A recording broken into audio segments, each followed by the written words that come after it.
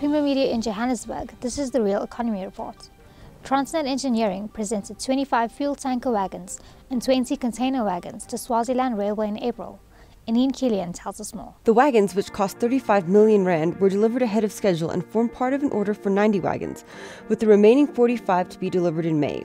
Transnet Engineering CEO Thamsanqa Jiyane said that TE had fast tracked the development of the prototypes for two wagon types. We've always believed that for the future of Transnet Engineering, we still need to start enlarging our footprint in, the, in terms of the continent, not only focusing on South Africa, uh, but working with the other railways across the continent.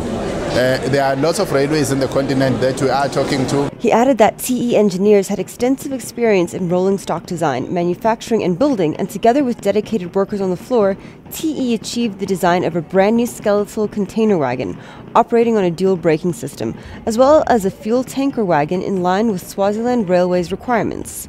He noted that it usually took around three months to build one prototype wagon.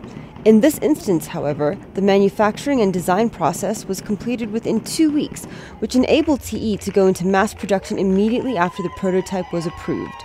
Swaziland Railway CEO Stephenson Ngubane said that Swaziland Railway had been working with Transnet Engineering for a long time and found that the company was constantly improving. This is a major procurement and they beat other bidders. They've got to meet certain requirements price wise, quality, and delivery time, which is what we've, like we have said today, they've met all those requirements. Jiyane further noted that TE was in the process of implementing its Transnet Africa strategy, which was intended to integrate South Africa with the Southern African Development Community through the promotion of regional rail connectivity.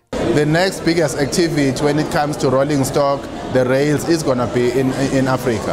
And the movement of commodities and people are at the heart of that.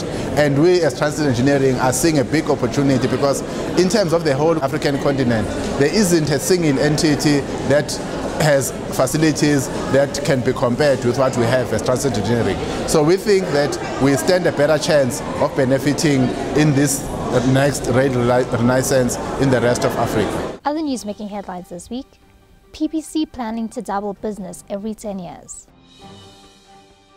The target of major cement producer PPC to more than double the size of its business every 10 years to retain its market share in Africa is based on the continent's world-leading rate of urbanization and the projection that the population of Africa will double by 2050. We've had a hard look at, at Africa and the, the thing that strikes us is that Africa is going to double in population by the year 2050. We essentially have a, a 35 year strategy, if you want, to take advantage of that. Not only is, is it doubling, um, but it, it's got the highest rate of urbanization in the world. So the number of people that will move into urban areas in, in Africa is tremendous.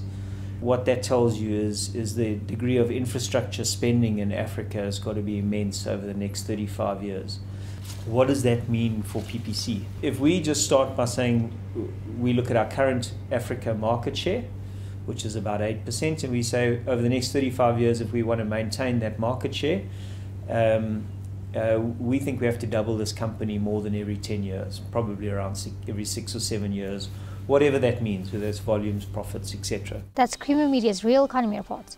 Join us again next week for more news and insights into South Africa's real economy.